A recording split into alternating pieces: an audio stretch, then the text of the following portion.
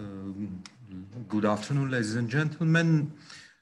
I'm Armen Grigoryan, uh, Vice President of the Center for Policy Studies in Yerevan.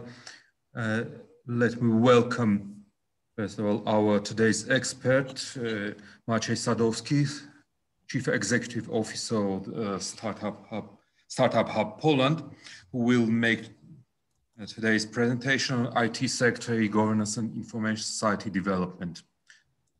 And uh, this is a part of a project supported by the International Visegrad Fund.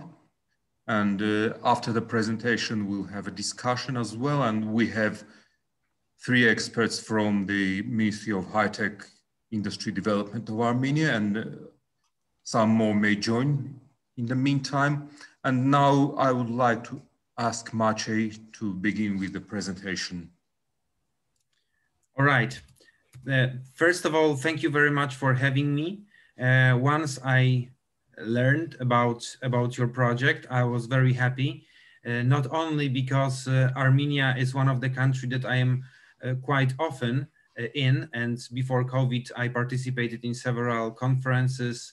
I also have friends for Armenia who are working in Poland and developing IT solutions, especially in deep tech sector, but also because um, I run foundation um, as the chairman describes Startup Hub Poland Foundation that main mission is to bring international talents to Central Eastern Europe and help us as Central Eastern Europeans to appear on the global um, radar, on the global stage of uh, high-tech ventures and high-tech solutions.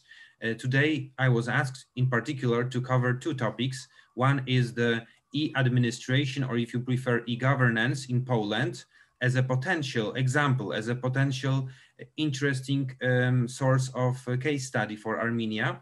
Uh, and also the sector of ICT, um, connectivity, um, computer science. So I, I will also give you some understanding on the startup and high-tech ecosystem and trends as, as well as venture capital trends because in my deep opinion and I will, I will already reveal the, the fundamental um, summary of my of my presentation uh, in order to have good e, e administration services and uh, good startup sector you need to every country needs to attract lots of local and international capital to let talents work on this solution to let talents develop their technological um, uh, soft, they, their, their software and technological um, products in given country. So having said that, I would like just to again to to thank to thank you again for inviting me.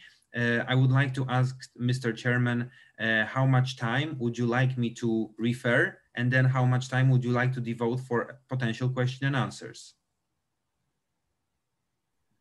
Uh, well, if uh, 40 minutes or so presentation will be fine, but uh, if if needed, you may longer, and about the same amount of time for comments and questions. Lovely. Okay, I understand and I will comply. Uh, let me share the screen then. I hope you will see it very well, just in a second. Um, I need to understand how do I um, all right. I believe that should work. And you should see already the, the first slide, which is e-governance, information society, startups and high-tech market in Poland at a glance. Of course, in half of an hour, it is impossible for any human being to refer the whole development that we observed, that we experienced and enjoyed in Poland within last years. Uh, of course, if I've been asked by you to summarize the development of this sector just one year ago, just 11 months ago, my presentation would be very different from what I have prepared because maybe I will start with an anecdote. I heard it in one of the conferences that takes place online in Poland among big ICT corporations. And uh, one officer from one corporation asked another, and it's a true story. So tell me, let's call him Michael. Tell me, Michael, who is responsible in your corporation for digital transformation? And the other gentleman, Michael, answered COVID 19. So uh, it, is true that COVID 19 was the major catalyze, a catalyst, the major um, accelerate acceleration element for our uh, e-governance, e-administration services and solutions. Um, I also probably should uh, exploit 20 seconds in uh, introducing myself. Not only I work in Startup Hub Poland, where I'm a co-founder and CEO for last nine years, I am also a chairman of a committee for high-tech uh, innovation and inclusivity of Polish Chamber of Commerce. I'm also um, I also belong to the National Chamber of uh, uh, National uh, Development Chamber next to President of Poland. My role there is to actually give lots of criticism towards um, legislation, towards new strategies, also, also, but not exclusively, concerning e-administration and how, how the government, uh, either the general government, the country government, or local governments can communicate in a very accessible and fast way with um, citizens who really, really very much uh, complained in last years for the uh, quality level and uh, saturation of uh, e-solutions in their lives. Uh, we were, especially my generation, I'm 36 years young, um, we were complaining that lots of things in business, in our normal administration procedures are unable, unachievable, uh, online. We can only go to the physical office, meet a physical person, which is always nice, but very often time consuming. And uh, that was one of the reason why our administration decided to speed up in this very, in this very element. Uh, I um uh, sorry, can I ask a question before uh, you will start the presentation? Yes, of course. Uh, uh, Mr. Sadowski, am I pronouncing your surname right? Perfectly, as if you were Polish.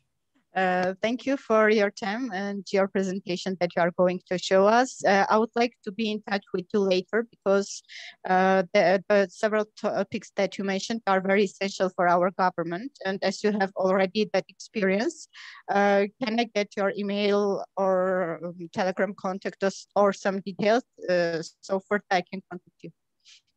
Most certainly, madam. I will. I, I have scratched all the contact information in my last slide, 18th slide, but uh-huh. also uh -huh. I will I will make sure that after I um, I uh, conclude my presentation, I will also write on on the chat window of this Zoom conversation of this Zoom seminar my add my maybe uh, telephone number which enables uh, WhatsApp and uh, Telegram, and we will be in in touch, of course. And th yes, thanks a lot. Thank you for for your interest. And Maciej, perhaps you could also send the presentation file to me and I would yeah. share. Yes, that would be nice too.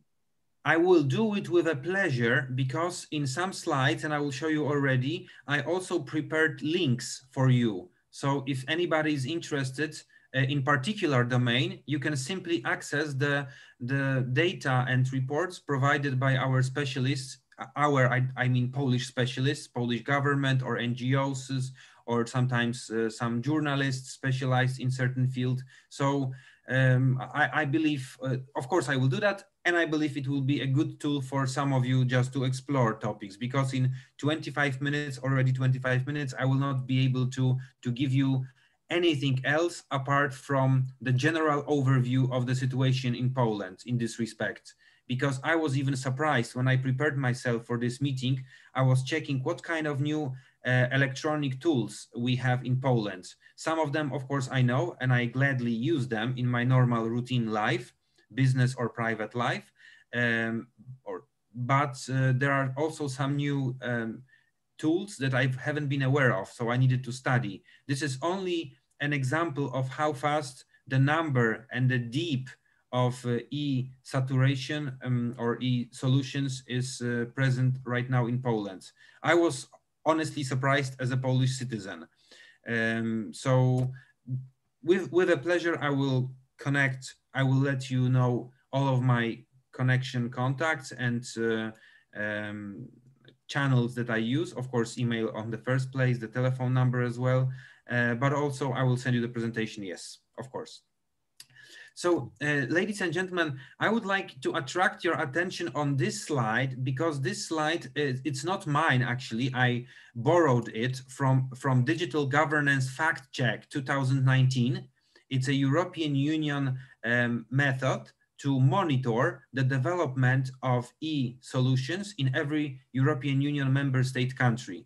And if you follow the link that I have uh, also provided on the bottom of this slide, and you will get it, you will get it, you can see two kinds of uh, expression of this data. One is infographic, very handy, very useful if you want to talk in a very short format like this one, or a, an advan advanced one with, uh, with a comments, normal report, normal written report, of course, available online. And I borrowed this first slide to show you where exactly Poland is in comparison to the average of European Union. And already I need to admit that we are not, um, we haven't reached European Union average. So on the beginning, you might have this impression that Poland maybe is not a great example for Armenia because uh, we are not the best in uh, e-administration in European Union. But if I show, if I could show you the, this, the same graph, unfortunately it's unavailable in European Commission websites, uh, five years ago, you will see just maybe not a desert, but you will see a very unpleasant picture uh, where we did not have uh, lots of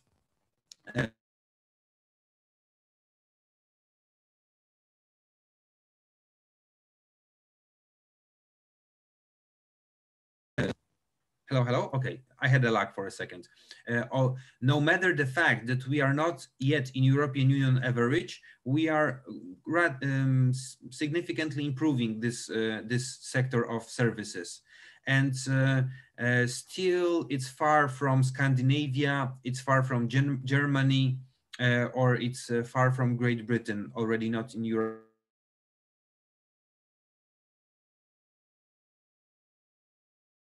Mm, Mr. Chairman, can I just ask you technically, can you hear me well? Uh, uh, yes, sometimes the voice is cut, you know, for a few seconds. All right, I'm, I'm, I'm so sorry for that. I uh, mm, checked the, the strongest internet connection before our meeting and I thought everything is going to be okay. Uh, but uh, uh if only you want me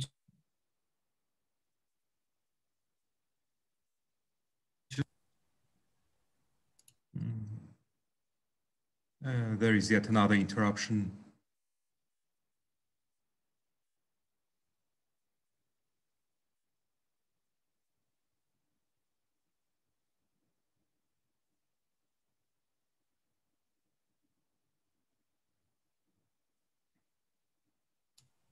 I am I am back with you. Um, the I think the problem was uh, the Zoom.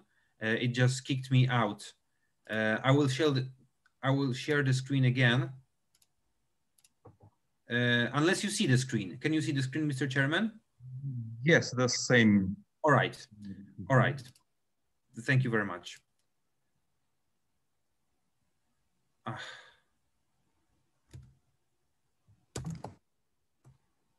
Okay. Okay. This that this slide is important. So our um, I don't see the slide honestly. Uh, yeah, you stopped sharing actually right now. Okay. Mm, I'm terribly sorry. Um, I, I, believed I knew Zoom very well, but there are some problems uh, here on my side with Zoom. I hope you can see the slide already. And uh, the highlighted element I put on the top of this slide is the assumptions for the strategy for artificial intelligence in Poland although it's dedicated- we are not on that we're not on that same page. We see the, the very first page. Really? Yeah. What about now? Oh uh yeah. Yeah yeah well, now we see it. Okay. Okay thank you. Um no matter the fact that this strategy is dedicated for artificial intelligence it contains a lot of um, elements related to our e-government um, services, services for, for citizens and especially for patients. Um, we didn't we didn't know in 2018 that the COVID will be such a problem. We didn't know at all about COVID, but luckily our government has prepared some some elementary uh, fundaments for uh, the um, transition from the very paper-based country into digital-based country.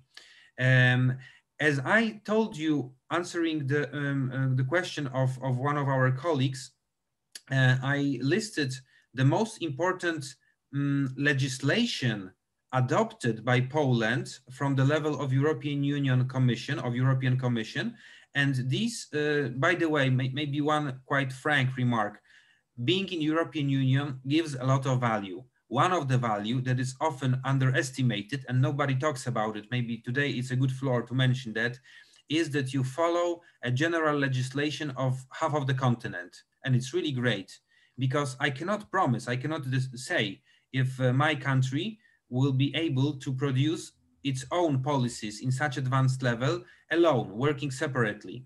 Because of the fact that in European Union, we have this European Union citizenship, it also helps me and my colleagues from abroad who are coming to Poland or who want to work in Poland to benefit from the fact that uh, they can use uh, the same kind of signature to submit some files or some forms to our government or, or municipality. So um, here I need to make kudos towards European uh, Commission and European Union because it really helps a lot in advancing with the, our struggles to become more electronically based. And here in this slide, and please confirm if you can, if you have seen the switch of slides right now. Uh, yes. Yes. And here I mentioned few most important digital um, infrastructure that we have um, created in Poland recently. And uh, my idea was to give you a um, blimp of understanding how broad those instruments, those elements of our infrastructures are. So first of all, and most importantly, gov.pl. Gov.pl is a website that I use every week, probably 20 or 30 times not only because I'm looking for information there, like uh, mm, 46 million people um, in in in uh, in recent uh, in recent uh, months of 2020, but also because I can um, submit several several documents that beforehand I needed to go to the post office and send. So GovTech, let's imagine it's like a hub. It's one one-stop shop a place which contains all the important information about e-administration and Poland. And if, if, and if it does not contain certain information, this website definitely directs you, navigates you towards certain services. So in my opinion, if I were new in Poland, if I didn't have touch with contact with internet beforehand, I would definitely start with this website. By the way, I want to mention that in our government, there is a unit called GovTech, GovTech, two words, GovTech, and I will have a slide or information about that. I call it for my own purposes, a UX, user experience branch of our government. These are very young people, even younger than me, who are determined to make all of this legacy of e-administration accessible for people because sometimes the public officer thinks the service is very good prepared very well designed but people do not understand how should they maneuver there how should they uh, um, go with certain topics and these people are um, the, the, the mission of them is to make it as accessible in terms of user experience design as possible. And uh, just to go with the list very shortly, apart from GovTech, uh, you have also dane.gov.pl. Dane in Polish, it means data. It's just a Polish word for data. So imagine it's data.gov.pl, which is a portal for open data. Any actor, any um, um, stakeholder can access this portal to get some publicly available data for his or her purposes. The registry, registry of sexual crimes, new topic in Poland. So beforehand, people needed to use uh, mail, normal paper mail or call this institution. Right now, there is a special registry actually for everything. I just used the sexual crimes registry because it, uh, it is one of the newest um, example of uh, our our tools, e-tools. Um, and uh, please, please think with me for a second. Lots of young people and generally speaking people in Poland, we have, everybody has a smartphone. I think it's a general, not only for Europe, but for Africa. Even Africa is great in this respect. Uh, people, pe people don't have a bike, but they have a smartphone. So it's far easier to report things like sexual abuse or any kind of discrimination if you can use your smartphone, because in very delicate situations, you cannot just pick up your phone and call to the uh, inspector and complain or report a certain situation. But when you write, it's very um, in intimate. Nobody nobody is observing what you are typing. So um, the distance between administration and people really decreased. Mm, I'm sorry, can you a little bit describe how that uh, service works? There is certain number, so if there mm -hmm. uh, someone is sexually abused, they just message or text how it's working. Can you please a little bit explain?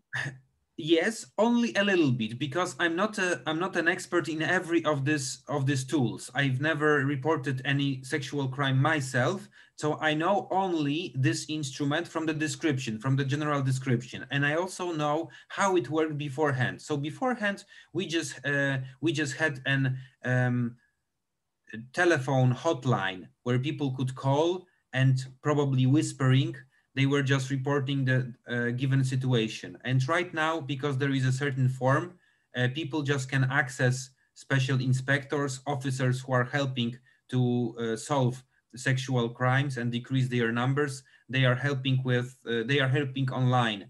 Uh, the track of your request is being monitored. So there is a special portfolio of cases. And please also, maybe this is an important element, please also imagine how much it helps um, the administration to uh, to identify the um, sexual pred predators in, in in Poland, for example. Um, it's uh, uh, people are moving, people are going from one city to another, and thanks to that, the map of the potential dangers is is far more adequate and far more um, precise. Um, the another another element that I actually tried several weeks ago is ID card with an electronic layer. Um, this is a good one because uh, you need to have in Poland this um, you know this uh, plastic ID. You need you need to have it, and it's useful in European Union. But also this electronic layer allows you to. Uh, it's like it's actually very similar to bank debit or credit card, virtual credit card you can just have one, one good uh, proof of your identity online. And uh, there are also discussions about, uh, it's not a topic of, of my presentation today, but there are huge discussions about uh, also applying blockchain technology in uh, identification, in transactions, and in notary certificates. So for example, if I want to sell my apartment, and I have a buyer who is willing to give me the price and pay to me, uh, normally I need to go to the notary and I need to pay usually around three, four, five hundred uh, euro. In Poland, we have other currency. It's called Polish zloty, but I'm giving you euro uh, exemplification just for better uh, for better calculation. So it is quite expensive, only for a very, I don't want to use word stupid, but for a very basic services, which is giving a stamp by the uh, state of Poland that these transactions took place and the ownership of this apartment change, uh, changed. So um, the blockchain experiments, probably if you invite me next year or maybe in one and a half year, I will be ready to give you information about uh, blockchain saturation in e-administration. Um, there is there are also some digital government services and i need to speed up because mr chairman allows me to speak 30 minutes i, I maybe a little bit longer but uh, i will i don't want to i have many slides yeah, please take your time it's uh, not a set limit actually okay okay um, digital government services uh, also intensified in last year. My favorite one you can find on the very bottom of this um, slide. Your I'm, I'm sorry, can can I ask a question? Of course um, regarding the ID card, for example, uh, the transaction is being done online between the buyer and seller before going to notary, and that part is digital too? this is the plan. It is not yet available. I just mm -hmm. told you to give you not a, a, pack of facts, but also mm -hmm. I mm-hmm. wanted to show you the timeline logics. So there are yeah. works right now in the sector, especially in private sector, to create such services. And yes, yes, once it will be done, it will work exactly as you described, ma'am. Mm, okay, thank you. Thank you. And this digital uh, government services for for business especially and for citizens as well for taxpayers. The last one on the list your EPIT electronic PIT private income tax formula. This is just marvelous. This is this is amazing. Uh, citizens can uh, go online check what are their private income tax prediction prediction for a given year and of course they can correct their uh, submission. I, I can manually change some data, but the data are sourced from my employer. The data came from the company that I worked, uh, and uh, these data are being, uh, uh, being processed by algorithms and by simple equations that show how much money shall I pay for income tax. Um, the, why it's great? Because I have no responsibility just by accepting what the government told me I need to pay. So there is no risk for me, a normal private person, to be wrong with my uh, income declaration, the tax income declaration, which is a new thing. It works only for the last year from 2020. And I need to say I'm a big fan of it already. I don't need to buy expensive accountants uh, support. I don't need to bother my colleagues or friends who are uh, well educated in accountants. Um, the taxation system in Poland is quite complicated and uh, that saved probably 10 hours uh, of every of every interaction. Maybe I'm exaggerating, but definitely 10 hours a year uh, of uh, just filling in your papers for taxation. But please also take a look at the left uh, side of the slide, e-prescription. Um, I, I used it for the first time this year during COVID time. And uh, honestly, it took me just few minutes to contact to fill in my application form um, submit with my electronic signature which state provides it is not a service provided by a company private company I, I could use it but i need to pay a lot but my, com uh, by, by, my country provides also a very affordable, I believe it's few zlotys, like few, few coffees, really, one, one dinner probably. The, I don't remember, but it's super, super cheap. Mm, I have my own um, signature that I can just ask for prescription and uh, the prescription is being placed in the whole system. So every, uh, every pharmacy, every doctor can see it. And what is more, uh, I can visit my doctor right now, thanks to thanks to COVID in a way. I, otherwise, I would probably wait for another three years for this to happen. But I can visit my doctor online, and and I visited doctors three times in within last year, and uh, the longest time I waited for a doctor was three minutes. Why?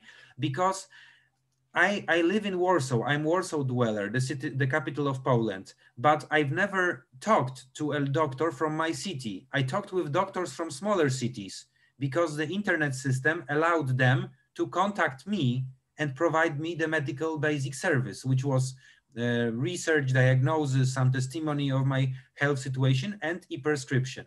So please imagine if you have a saturated city, Yerevan, for, a, for, for example, where all doctors are super busy, thanks to this, only this system, not, not only your patients can get very fast assistance online, but also uh, doctors from smaller cities where there are no nothing to do for them because they have what? 2000 patients and nobody is ill today and they are just sitting at home or at the off in the office in the cabinet and doing nothing so this one i also checked myself and i need to tell you that it's uh, um, it's a huge advantage in terms of e-digitalization in poland for normal people like myself the the uh, the increase of quality was really uh, significant. I'm and, sorry, just one question. Yes. Uh, you are the one who is choosing the doctor, yes? Not it's just randomly give no. you the doctor. Uh, no, just, no, no, no, Yes, no. because you raised the topic that uh, doctors from the city uh, have much more free uh, windows to um, to, to accept. Uh, in this case, that's why I'm asking. No, so um, it, it is different.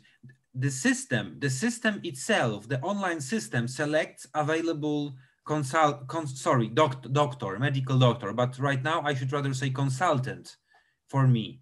So I don't know which doctor will talk to me, whether it's doctor from Krakow or from Warsaw or from other smaller city or a village.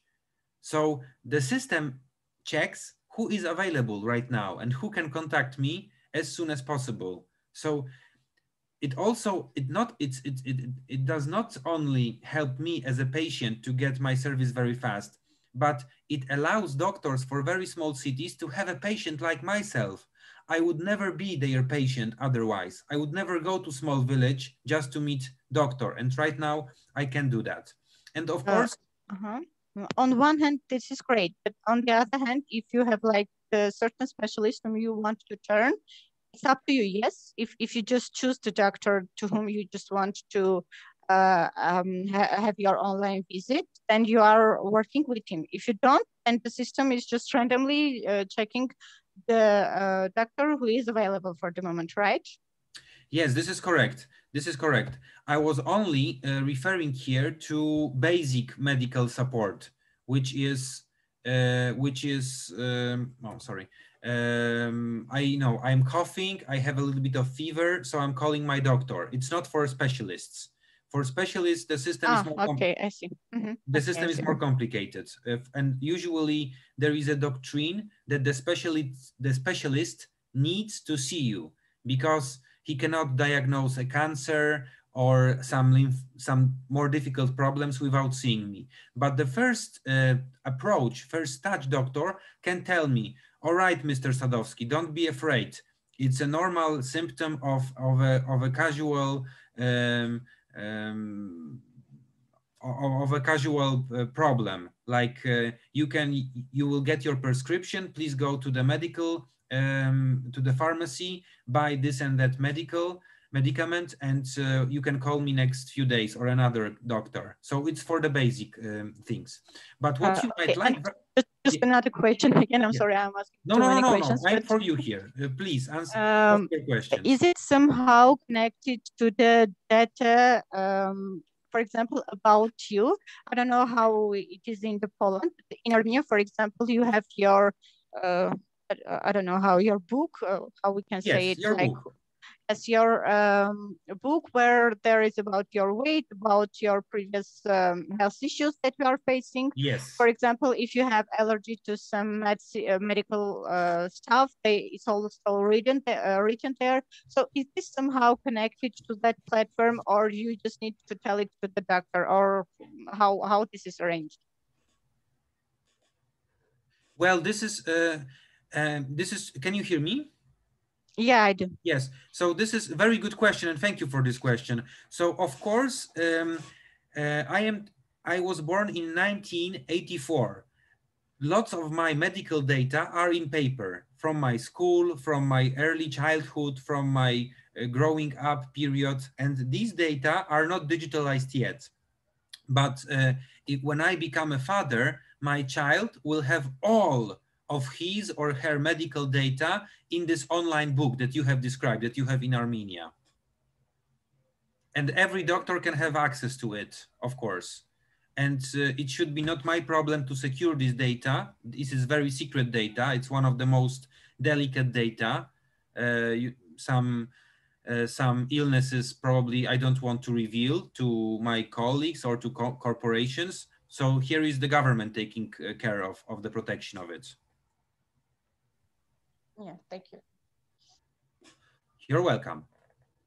And if meeting with my doctor gives a result that the doctor believes that I need to take a leave for one week from my from my work, I get a, um, a medical um, health leave electronic version, which I receive on my email, but also my employer receives the same uh, medical leave prescription and my uh, my insurance, our public insurance office, the office that the, the, the public office that pays for for uh, sick leaves, it also gets the information. So there is no chance that the system will not recognize that I was legitimately lying in my bed for seven days because I was ill and the doctor decided to to uh, keep me at home for some time. And now with a very um, good transition from the general description of the Polish instruments for e-administration, I can go to my probably favorite element. Uh, I'm saying it with a sorrow and with a sadness. I would far more prefer not to experience COVID at all. But because COVID is fact and Poland has a quite big number of infections, um, the administration speeded up significantly in terms of new solutions for uh, using e-platforms, public e-platforms. The first one is gov.pl. Please see again that it's gov.pl, the hub, the main place where I should go with every topic I have related to administrative um, uh, or health topics. So govtech, gov.pl slash coronavirus, it's a Polish description, it's not English, coronavirus in Polish. And this, this place is super popular. Everybody who have any symptoms is going there to check what symptoms um, are uh, adequate to, to what kind of pro next procedure. And thanks to this solution it, itself, only this solution, people are being uh, quarantined if necessary, or they get a prescription for test, or they get a um, information how the ambulance can come and how to link with the proper medical service that it next to your neighborhood and can help you. And also all of the newest information for WHO, World Health Organization and ECDC are also uh, placed there. So this is like anti-fake news website for coronavirus. Really great solution. I use it few times for myself. Luckily, I didn't have coronavirus and for my parents because they, they, they are not that good in internet. So I did it for them. What is more, um, this uh, service allows children to, to connect and to ask about situation of their parents, how, how they should behave. So it's also good because um, it's not that only individual person can talk about his or her situation. Another tool that I want to mention is the home quarantine. This is a tool which also has a, a mobile app that allows uh, policemen, for example, to check if you are keeping your quarantine and if you are still at home when you should be at home and when you should keep your virus in your apartment, not to spread it in, in the neighborhood. Uh, so this home quarantine was a tool recommended by the government. It's not necessary to have it, but it's recommended and it works very closely to another application that I mentioned lower. It's called Stop COVID, Pro Go Safe, uh, um, Pro Go Safe.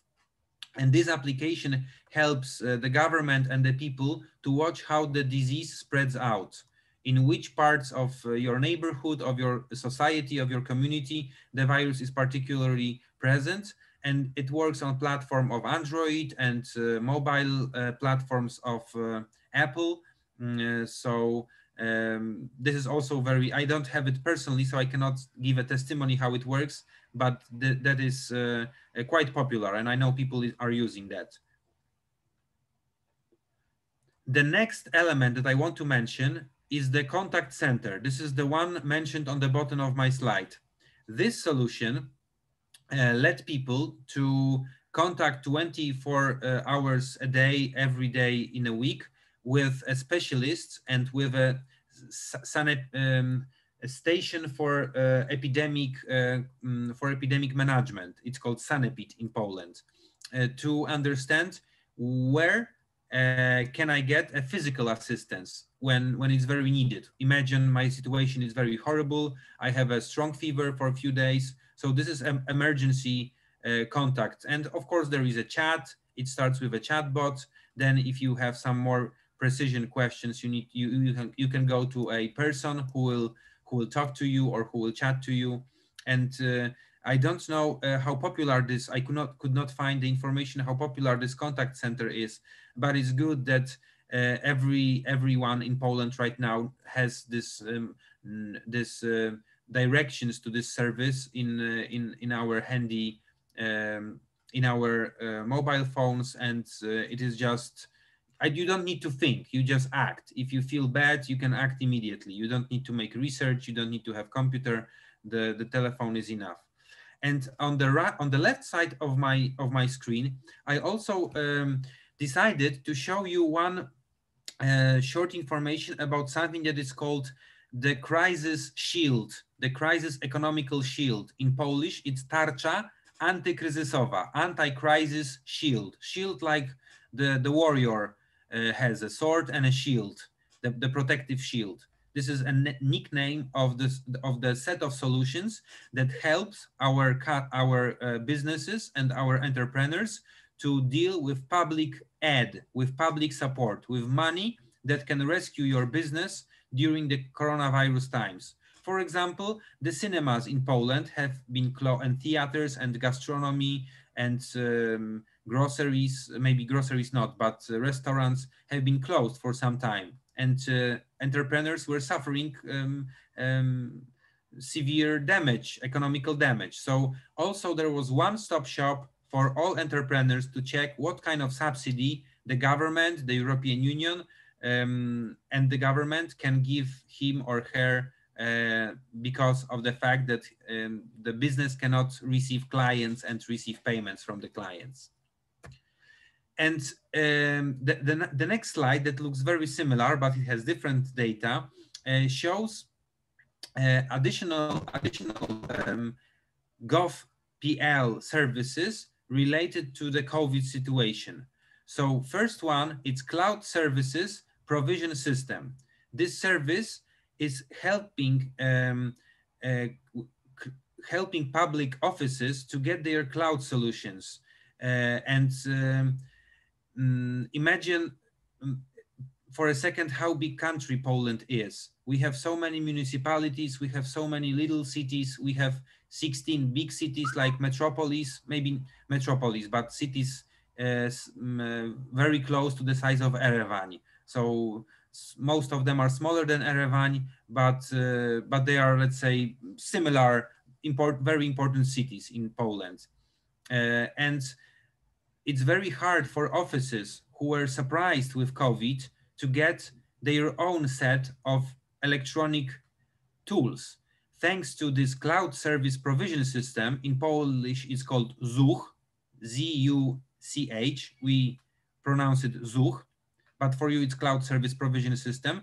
It enables offices to acquire certain goods, certain electronic goods for their own offices because government cannot go to every office in Poland physically and order the director of an office to implement given solution.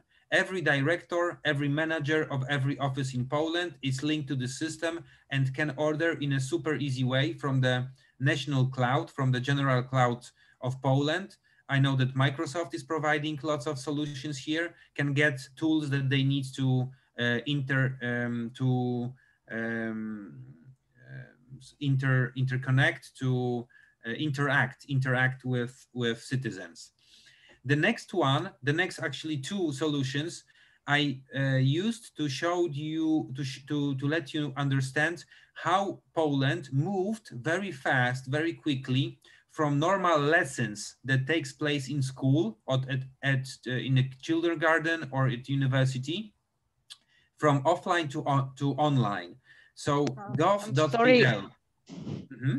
I'm sorry, I have again question. Yes. Um, uh, I would like to know, that just came to my mind. Uh, I haven't thought about it beforehand, but for the moment I was thinking like, uh, uh I just want your opinion about that. Uh, what about the application or something that, for example, people who have already passed coronavirus, um, actually they can visit theaters, they can visit museums. So uh, if there will be just some kind of system that will give opportunity and thus we will save the businesses too. For example, like we have already 30% of population that is already part coronavirus, past coronavirus, and mm -hmm. they are not threat to the community. Uh, so they are allowed to visit the theater. And once you uh, go to, to the theater, you just, um, I'm sorry, once you go to the theater, you they have an application. They just uh, like uh, type your name or there is some QR code that give them information, for example, that you have coronavirus and you can go to the theater, to the cinema. All right. So, so, so, totally we will not like shut down the whole, uh, the whole business. They will like work for some uh, people and anyway, they will have some income at least. Okay, I understand the question. So Poland decided to go with a different path. I think more conservative one. Um, the fact that you went through coronavirus and you have been healed, you are already after coronavirus, does not give you um, much uh, um, or many additional privileges to go to theaters or to, to the cinemas. Because I think I think the doctrine in Poland is that no matter the fact that I, for example, I went successfully and luckily uh, I went through coronavirus in July 2020, it does not mean that I can got uh, uh, infected again in February 2021. So uh, I think that this this system that you describes that works in Armenia uh, will just be this doesn't work in Armenia. This is just my idea for the moment. That ah, idea. Okay. Yeah. Ah, okay. Yeah. Okay. Okay. Okay. Sorry, I misunderstood you. Uh, so um, uh, this is a good idea, but uh, the, the, the the difficulty in making this decision from your uh, high administrative level would be, in my opinion, as follows. Can we have certainty that Sadowski, Maciej Sadowski, who lives in Yerevan recently because he moved there with his family. Uh, it does the fact that he already went through coronavirus makes him really immune from another coronavirus incidents. If there will be good data from WHO, World Health Organization, that okay, Sadowski is not, it's not a spreader anymore, that would be good. But I think in Poland, we are looking closely at uh, Israel uh, situation. They are uh, having lots of vaccinations and uh, the big percentage of the population is already vaccinated for the second time with AstraZeneca or with Pfizer. And they are they are probably investigating how good, how effective this vaccination um, system is because uh, I've heard about cases in Poland. Then somebody had coronavirus in summer 2020 and right now in early um, spring or, or late winter of 2021 they got infected again they they still can get a positive test but uh, but yes i've heard about such ideas it's not a rule in poland yet it's not working in poland yet but i've heard these are the plans it also should increase the readiness of citizens to go to, vaccine, to go to vaccinate themselves. Because in Poland, for several months, we have 40, 40, 40% of people who declared that they don't want to get vaccination. They want to, they don't, they are not interested. And the government, of course, wanted to attract them to, uh, to get vaccinations. I think it's also a topic of fake news and lots of very uh, unreliable information in Polish uh, internet sphere uh, with with some stupid lies that that vaccination can change your genetic genome or genetic code. Uh, all of these are disqualified, but you know how the gossips and fake news are spreading fast, far faster than normal information. So I think this is a task for the next months for Polish administration. And if you are interested in that, and you have time to observe Polish experiments on this field, I will be super happy to provide you more information, let's say in June or July, when we will have a significant part of our population already vaccinated. I will observe, especially for the purpose of your Visegrad um, uh, Armenian Visegrad project, how the situation, how the set of tools is being developed. All right? Mm, yes, that will be interesting. Thanks. With a pleasure, really with a pleasure. And uh, on the on the bottom of this slide, I mentioned a very important tool, super important tool, which was already a, a character of my uh, story, of my presentation 10, 10 minutes ago. It is called trusted profile. Trusted profile, in a very basic words, it's an equivalent of electric or electronic signature, electronic signature. Uh, I can get this trusted profile, excuse me, for a very little money. And uh, I can do it also via my bank, which is great. I do not need to go outside of my apartment. I can just use the fact that my data, my personal data, name, surname, na name of my mother, name of my father, uh, date of birth, all of the personal data, they are sa safely and um, validly stored in my bank because I use everybody probably or most of people use bank in Poland. And uh, government has this special corridor between private banks and public administration to get the validation. So I don't need to go outside to get my trusted profile. What do what can I do with trusted profile? I can sign documents. This is super important. I can sign uh, business contracts. I can sign declarations for public offices. I can sign my uh, personal income tax declaration. I can sign probably most of the things I could possibly imagine with this signature. So this is why only in few. What, uh, I'm sorry, this signature doesn't differ from your uh, e-signature, yeah? It is not e-signature. It is equivalent. It's a public equivalent of e-signature. Mm -hmm. Mm -hmm. This is okay. uh, you you can have you you can have um, electric electronic signature from Oracle, for example, or from any provider, business pro, uh, commercial provider, but the country decides to make its own service, which is mm -hmm. very very mm -hmm. affordable. It is affordable for everyone. And going further, I also prepared a short information for you. What are the outcomes so far after the COVID and after the general strategy of digitalization of Polish uh, administrative branch? So the, our, our, statistical office, our national statistical office, or it's called central statistical office, said that 42% of people right now aged between 16 and 74 uh, year, years old, which is the majority of citizens in Poland, connected with a public administration via the website. Of course, um, mostly it is true for younger people, 30, 40, 50 years old. Uh, I know that uh, people after 70, after turning 70, they are not that familiar with this system. But anyway, 42% of this uh, of this uh, demographic group is already contacting with the administration online. And maybe it is not a spectacular result for Germany. Maybe it's not a spectacular result for Estonia, but for Poland, it's magnificent result. It means that that uh, almost half of the cases that needed to be uh, managed by a physical person in the office right now are being managed online. So the cost of our administration is expected to go down significantly uh, even though the COVID started. The other important data is that the highest percentage of people between 16 and 74, uh, 74 years old uh, was recorded among people working in occupy, occupation related to ICT.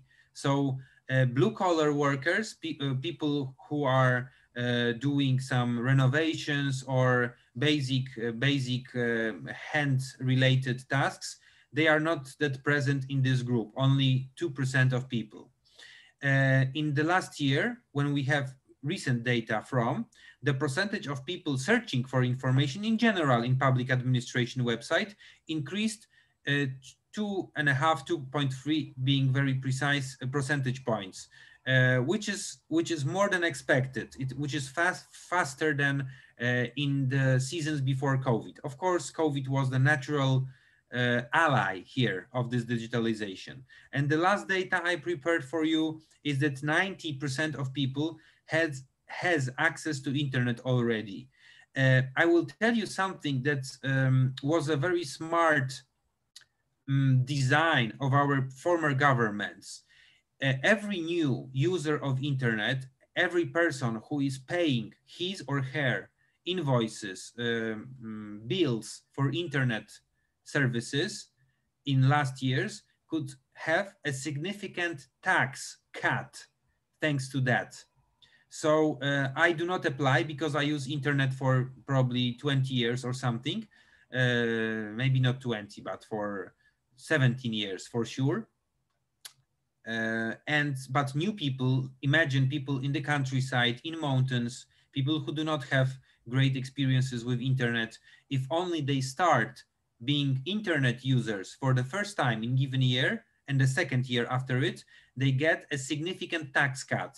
Taxes, nobody wants to pay taxes. We know that. So that was a very good incentive for people to uh, to uh, use internet and the density, the saturation of internet over 90% right now is a significant success for Poland.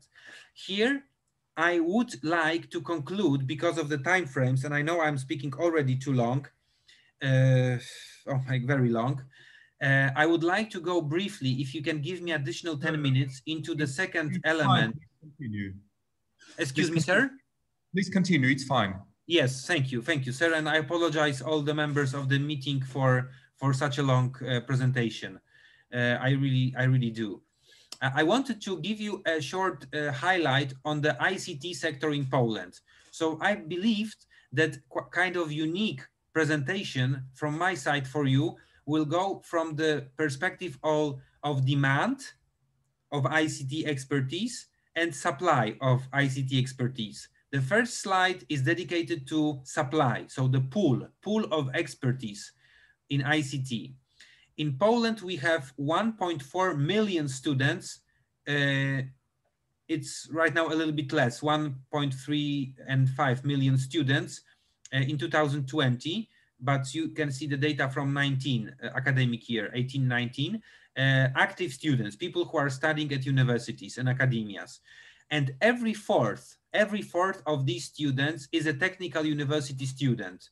And it's easy for you to imagine because Poland and Armenia are very similar in this respect. We are post-socialist uh, countries and uh, we did not have many, uh, you know, new materials laboratory. We didn't have many uh, chemistry or, or biological laboratories, but lots of children in 80s, in 90s did have a computer at home or parents have computer. This is why most of our engineering uh, specializations are related to ICT.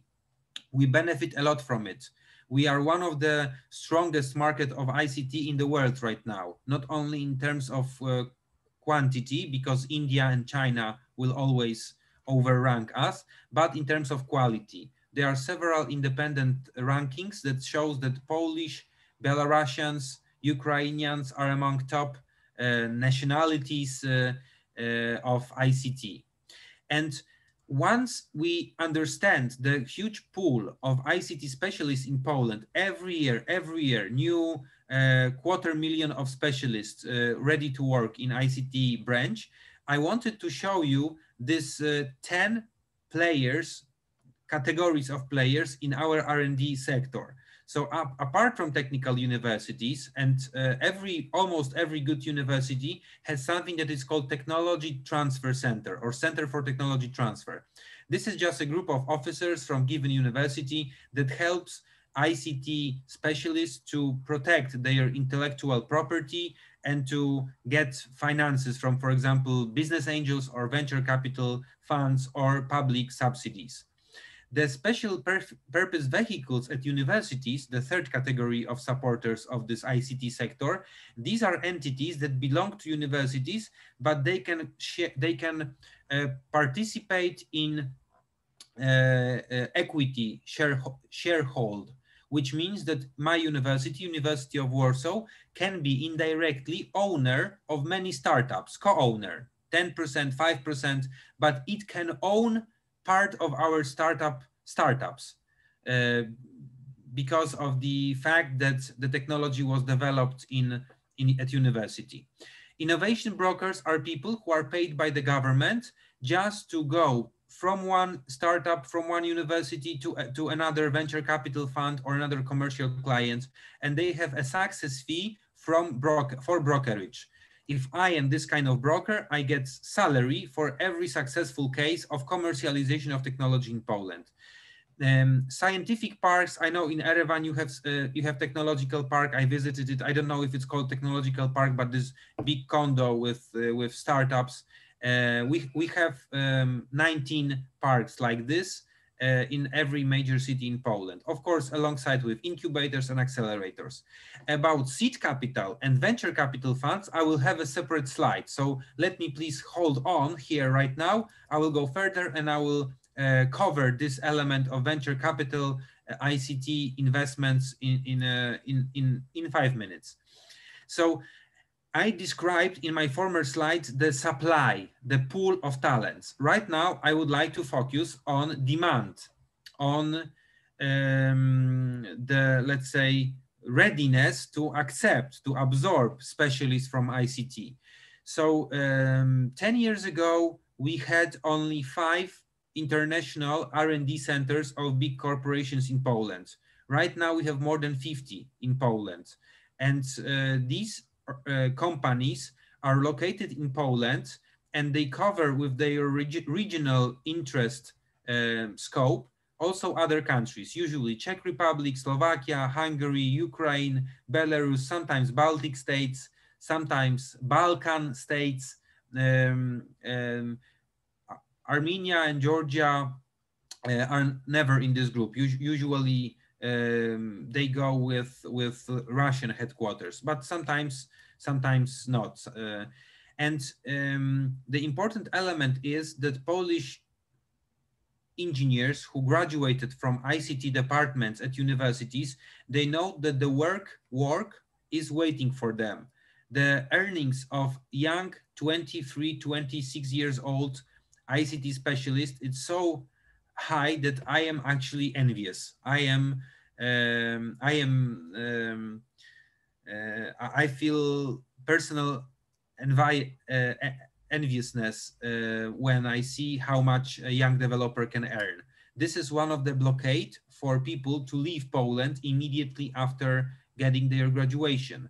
In the 90s and the beginning of 21st century, Poland was the second most drained country in European Union, just after Romania. It means that lots, lots of talented people, girls and boys, were going to Great Britain or to France or to Germany or even to United States and Canada immediately after graduation. So we have this paradox that Polish taxpayer is giving lots of money for universities that in Poland are public. Uh, most of them are public and you can have your studies for free. You don't need to pay for your studies. The taxpayer is paying for your studies. Uh, and after graduation, they were immediately going to another country, which was an obvious uh, loss for our for our um, ecosystem, for our economy. This is why the government, uh, with my humble support, has designed a program. It's called The Prize, Poland Prize. It's a non-equity program for startups in ICT from neighboring countries from Belarus, from Ukraine, from Czech Republic, but also from Sweden, from Denmark, from Austria, from Germany, if they like. Also, we had some uh, teams from uh, Armenia and even one team from Azerbaijan, uh, several teams from Georgia. These people are coming because they are attracted to get 24 months long European Union visa. They get money for soft landing, so they can get hotel for free, they can get uh, taxi or bus tickets for free. They can uh, travel to Poland for free. They can uh, the program can cover their flight ticket. So and then they enjoy acceleration program. Uh, which contains mentoring, which contains uh, experiments with corporations, and which contains meetings with capital provider like venture capital funds. Why I'm saying that? It is because not only Poland created with uh, humble support of my organization, the model of attracting great brains, great minds from abroad, but also recently the uh, Kingdom of Thailand the Thailand uh, uh, came to us asking if we can design a program for them because they also feel that many people from Thailand are going to China or to um, Burma or to um, Philippines or Indonesia or Singapore in particular to work there. So I know it's not exactly the topic that Mr. Chairman requested me to cover, but I wanted to use this 10 seconds to attract you, Armenia, to also design your own program to attract talents from abroad, young engineers who want to create a startup. They could create startup in the beautiful, uh, beautiful uh, country of Armenia uh, with a beautiful view to the mountains, and uh, they don't need to necessarily go to US. I believe you can attract many people from Central Asia, Kazakhstan, Turkmenistan, from Russia, from Georgia, uh, even from Poland. I believe that uh, people would like to go just to have two years for developing their technology. Most of them will stay in the country, will create families, will get networked uh, with local people, will create businesses, will pay taxes. So it's very valuable, but it's it's it's going very much again against this thinking that only your citizens can work in your in your country. In Poland, luckily, uh, no matter if we have left-wing government, liberal government, or right-wing government, everybody agrees on that. We need to attract talents from abroad. And if um, ICT startup is already a bit developed, it can get 50,000 euro each startup, a non-returnable subsidy to develop prototype in cooperation with corporate, with corporation, with Siemens, with Philips, with Polish companies, with Sony, with Nokia, with Huawei, with whatever big company the startup wants to work with, but in Poland. And uh, the results of our attempts to make Polish sector of ICT a little bit more internationalized, a little bit more diverse, I can show you this graph that I took from the Polish Agency of International Trade. Uh, I like this graph very much. It shows that not only Polish uh, ICT engineers are working in Poland to build all of this e electronical infrastructure, but also people from Ukraine, Belarus, and Russia. I was surprised to see Brazil as number five on this on this uh, on this chart. Um, recently, uh, my foundation got 11% of applications of startup applications from Israel, which is an indicator that our country became, and I'm sorry for my phraseology, but sexy. The country became sexy. The country became appealing, and the country became a place where international talents went, want to work and build those solutions, ICT solutions. One of the example of what we have achieved in last five months is Poland Business Harbor. Please, uh, please see that this website, this uh, program is based, no, I'm sorry, the number 14 on the left top button of my presentation covers.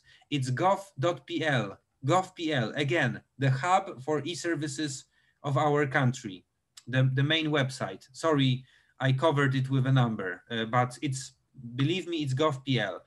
On gov.pl websites, every Belarusian engineer could apply for a soft landing program in Poland. And my, foundation, Startup Hub Poland, was responsible to fundraise from our private sector, from our public sector, small money, 5,000 euro or something, to give uh, pocket money to those startuppers. Just come to Poland.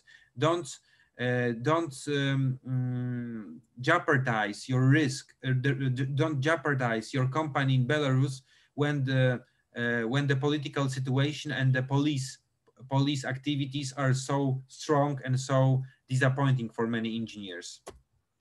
And then I promised you to cover two another sectors. One is fintech, ICT is strong in fintech, and the second one is venture capitals uh, landscape. So it will take me one minute each in terms of fintech, this is an interesting story for Armenia. We were one of the least developed, the least developed, the, the, the, the weakest country in the world in terms of electronic financial products. And we decided to make an experiment. Our governments, former governments, previous government says, okay, we want to be a sandbox, a playing ground for international banks to experiment with new products online. And right now in year 2022, we are expected to be the contactless payment uh, uh, penetration market, biggest uh, pay, uh, count, count um, contactless payment penetration market in the world. Right now we are number three, I believe.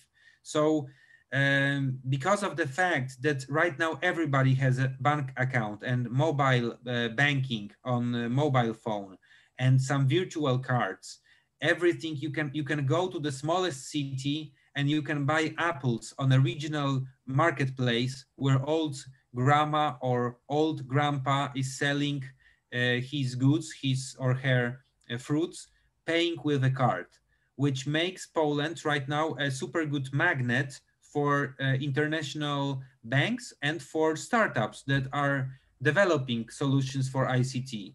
Uh, I don't need to mention that you can also deal with our government. You can pay your uh, fiscal um, re responsibilities, fiscal, fiscal uh, duties to the government online by few clicking. Of course, the government made it super easy to pay money to government.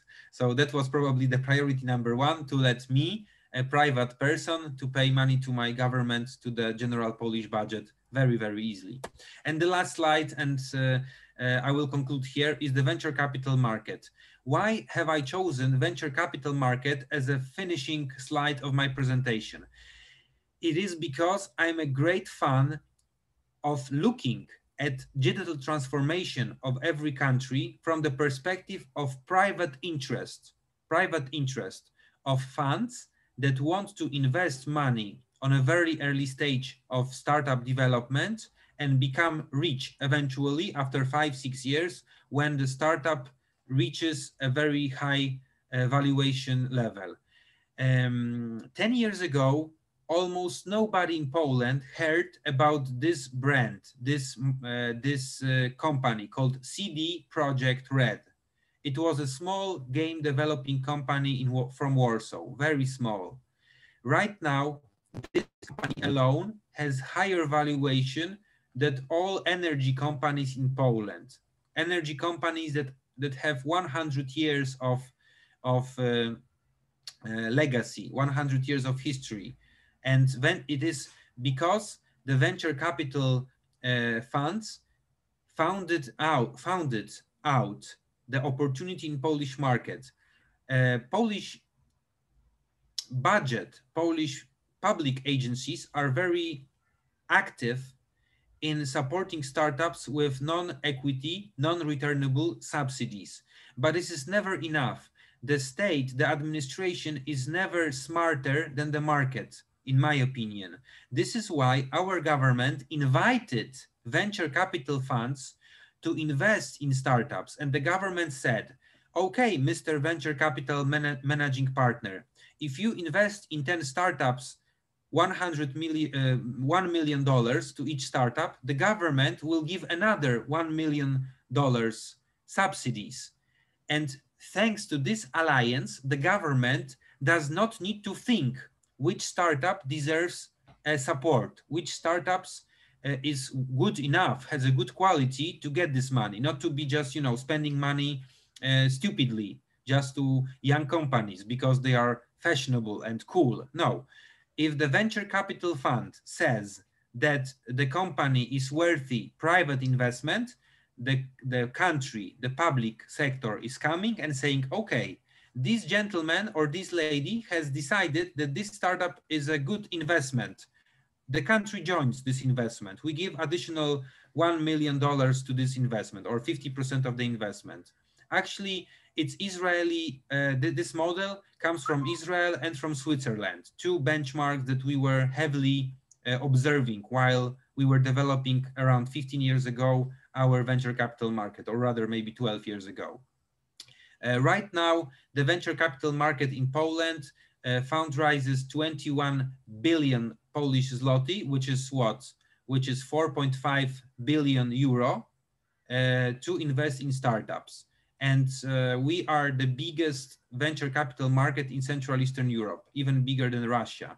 So um, I cannot, I cannot stretch, uh, stretch enough the necessity of attracting venture capital companies. They are really a huge supporter for public uh, processes, for public projects, and for our local talents who we want to keep in in country, not let them go immediately after graduation to America, to Silicon Valley, for example.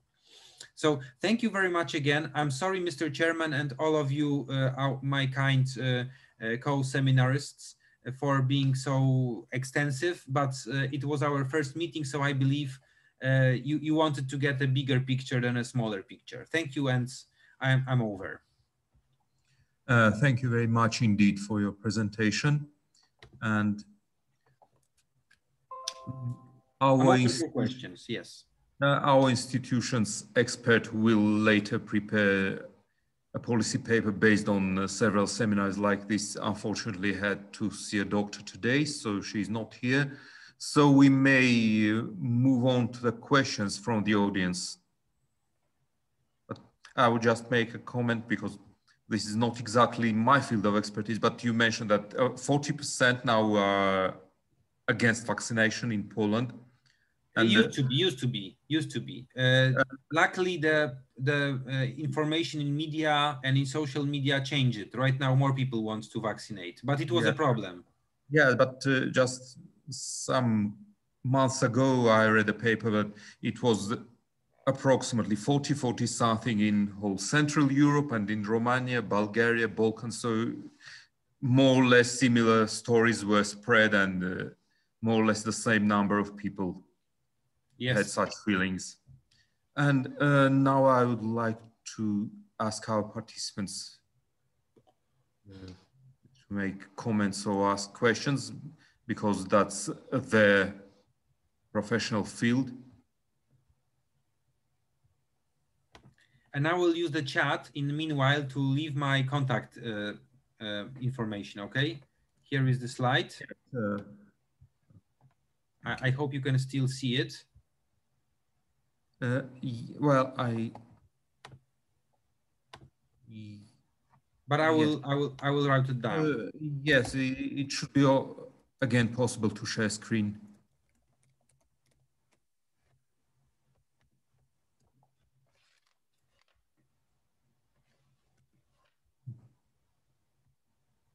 Uh, yeah, the email appeared in chat, yes.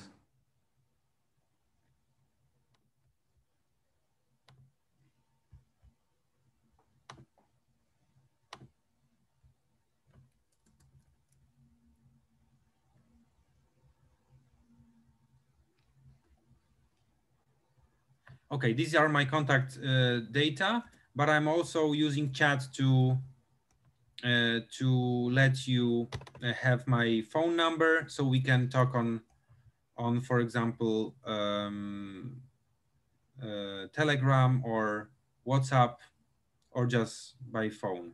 Call. Yeah, that will be great. I will try not to disturb you so much. Just the several links that I might need or the several questions that I might go on. I would like to go with you further. Of course. Uh, so uh, well, let's continue with questions now, as we still have time.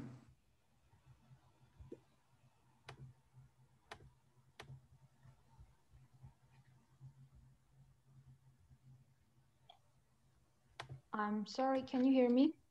Uh, yes. Um, I got a technical question. Maybe it's probably addressed to Mr. Grigoryan.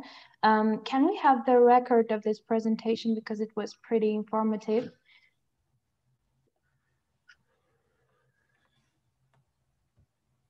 Sorry, can you hear me? Uh, yes, uh, yes, I, will share the link to video and uh, we may also get the presentation hopefully itself. Yes, thank you very much.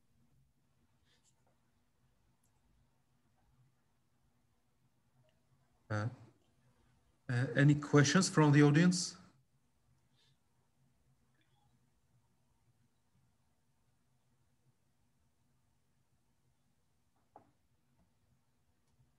I have another one, but um, so far it's like we have the same situation in Armenia. Like uh, not uh, most of the people are not using uh, uh, yes services and most people who use them are the people who are in IT sector and um, how you are trying to uh, teach people and how you are trying to move to digital society. I mean, like, um, are you doing some trainings? Uh, um, what measures do you take uh, to make old people, um, no, let's say not old, but people who are of um, higher age to uh, to trust uh, e-services and try to work with them. All right. So um, a big role in this process belongs to municipalities. Uh, I have a living grand grandmother and she participated in 2018 in a 16 sessions for internet um, as for internet group for seniors and the municipality paid for these sessions paid for trainers to uh, assemble group of 10 or 15 seniors uh, senior people to uh, get accustomed with with basic tools of internet not only public uh, solutions, public tools, administ e-administration, e-governance tools, but also Facebook, email box, uh, chat, browsers. So right now I can connect with my grandma and, and talk to her online, and she's also able to get her prescription online. So mainly the municipalities uh, are helping with this mentoring. Okay, I see. And later, do you have some statistics uh, how many of them or uh, how many of them are using the services so to to see like uh, how mm -hmm. efficient it is because they might like uh, be uh, might be present at the studies but later they will not just use it okay uh, i don't have the statistics right now but i can link you with a gentleman from the municipality of warsaw who i work with and he's responsible for this kind of uh, uh, formats for senior people. Mm -hmm. Not only he will be able to send you the data, the statistical data that you uh, you are willing to know, but also maybe some presentations of of the programs for senior people. And, mm, yeah, and not only for senior people, mm -hmm. because uh, also people from uh, from uh, smaller municipalities, they are also not very aware of. They, they used to be not very aware of internet so uh, I will make this link afterwards. Okay, I will. If you send me an email with your contact, uh, with your email address, I will make an introduction to the gentleman from the municipality of Warsaw, if it's okay for you. Thanks a lot. Of course, thanks for your help. Welcome. And, okay, uh, I get it. Uh, I have a little question. So, uh, how about uh, retirement benefits in Poland? Does everybody get it to their bank accounts or how does it work? Because in Armenia, there is such a possibility, but still a lot of older people go to the post office or to the bank and stay in queue just in order to get cash from their pension accounts. So yes, uh, has uh, has uh, this uh, you know, card ownership or using electronic banking being promoted or how it could be perhaps?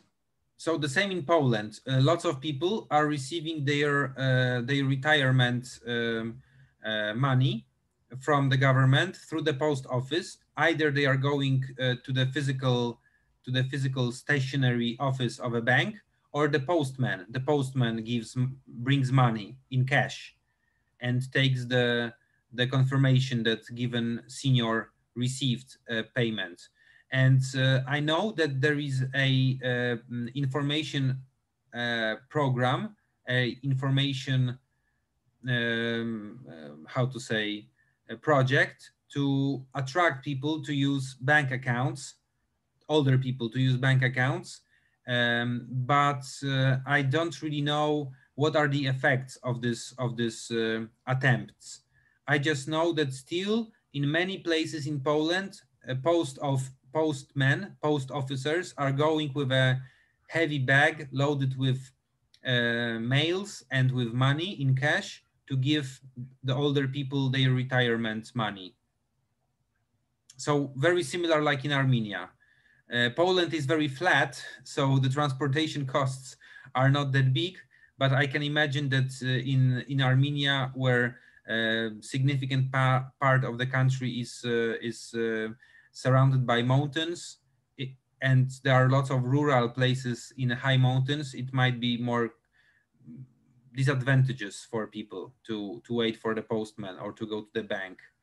Uh, so uh, the answer to you, sir, is that yes, there there is some information action performed by the by by the government and by banks. Please go online and get your money online. Uh, thank you. So, uh, any other question, maybe from the audience?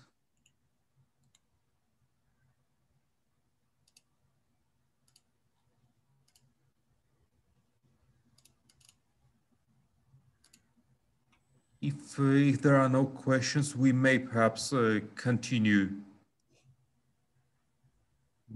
via email or we can stay in touch With and, uh, With and uh, uh, please uh, share the, uh, the presentation file, which I may forward to our participants as well. And uh, I may also share the, this discussion video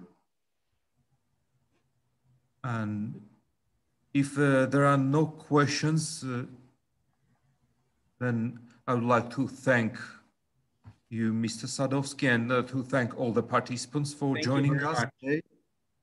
And I believe this was a useful discussion and we will continue exploring this topic and uh, we also plan to publish a paper about this.